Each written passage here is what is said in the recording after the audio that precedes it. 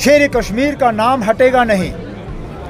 उसके नाम को यहाँ से हटाने वाले जो हैं, वो यहाँ से चले जाएँगे। आप इमारतों से उनका नाम हटा सकते हो। दिलों से मिटा नहीं सकते हो। आप अगर एस के आई सी सी से शेर कश्मीर का नाम मिटाओगे, या क्रिकेट स्टेडियम से मिटाओगे, या अस्पताल से मिटाओगे कोई फ़र्क नहीं पड़ेगा। क्योंकि जैसे मैंने अपनी तकरीर में कहा, सच आप छुपा नहीं सकते हो। चीफ जस्टिस ऑफ़ इंडिया ने ही उस सच को लोगों के सामने दोबारा ज़िंदा किया। हटाइए आप बिल्डिंग से आज हटाओगे, कल दूसरी हुकूमत आएगी। वो वापस लगाएँगे। लेकिन ये याद रखना, शेर कश्मीर का नाम हटेगा नहीं। उसके नाम को यहाँ से हटाने वाले जो हैं वो यहाँ से चले जाएँगे। उनको कोई याद नहीं करेगा। उनका नाम तक यहाँ रहेगा नहीं।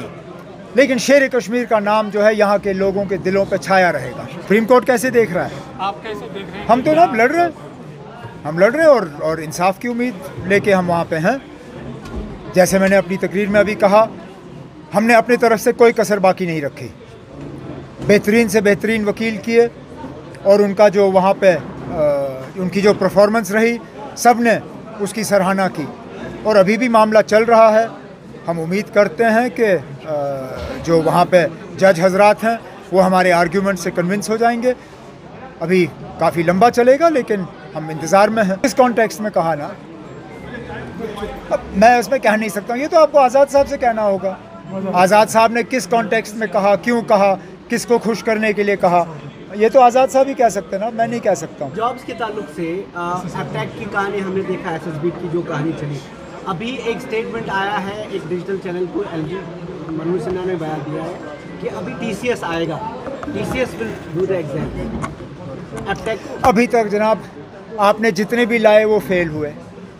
एपटेक पे इंक्वायरी आपकी मुकम्मल हुई नहीं। कोई लिस्ट आपका बना नहीं।